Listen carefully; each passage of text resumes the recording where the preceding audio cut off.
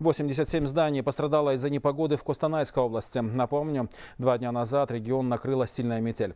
Первые сутки удалось восстановить лишь кровлю пяти зданий. Остальные, заявляют власти, отремонтируют в короткие сроки. Но увидеть апрельским снегом, удивить, вернее, апрельским снегом может не только северная часть страны. Сегодня осадки засыпали улицы Шимкента. Непогода воцарилась и в соседней Жамбылской области. О сюрпризах природы расскажет Артем Грапов.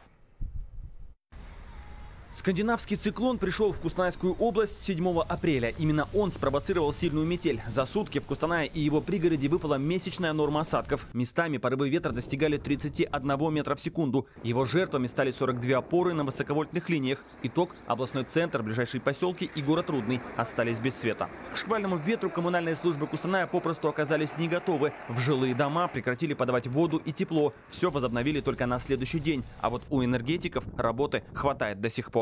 С учетом того, что плотность сетей по городу Кустанай, Кустанайскому району большая, это, кстати, эти подразделения, где больше всего повреждения, где больше всего людей находится без электричества, туда будут направляться бригады по мере восстановления уже завтрашнего дня бригады с районов.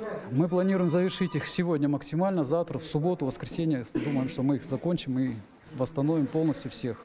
Параллельно с Кустанайской стихия ударила и по Акмолинской области. Там во время урагана два человека погибли и еще 30 пострадали. На больничной койке оказались 7 пациентов, из них один ребенок. Тем временем коммунальщики продолжают восстанавливать линии электропередачи. В общей сложности пострадали жители 189 населенных пунктов, в 18 из них все еще нет электричества. А в Таразе из-за непогоды под угрозой оказался урожай. Там этой ночью выпал снег. Такого невесеннего сюрприза жители явно не ожидали. На дорогах коммунальщики расчищают снег. От его тяжести обломились ветки деревьев. Синоптики говорят, что сильные осадки вызвал атлантический циклон. Сегодня и завтра в городе будет не по-южному холодно. Живу я здесь более 10 лет, как житель Тараза. Такого еще анома... ну, как, как бы аномального события не видел. Я, конечно, хотел бы, чтобы было солнце, тепло. И чтобы я не в ботинках шел, а в кроссовках. В принципе-то я уже привык, что у Рюка, вот, допустим, у дяди уже третий год или четвертый нету. Вот.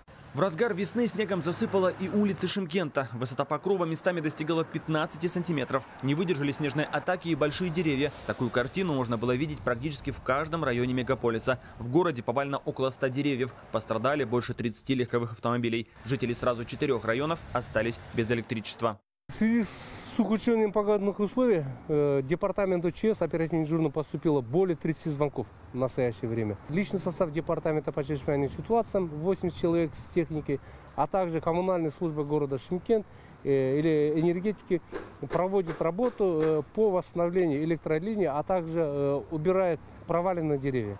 В Шимкенте значительно похолодало, до минус трех. Для южного города погода по-настоящему зимняя. А ведь еще пару дней назад столбик термометра здесь поднимался до плюс 30. Огороды и сады давно украшают цветущие вишни и абрикосы. Экологи аграриев не успокаивают. Декоративным растениям весенние заморозки не страшны, а вот фруктовые деревья пострадают точно. А потому, говорят специалисты, полноценного урожая ждать не стоит.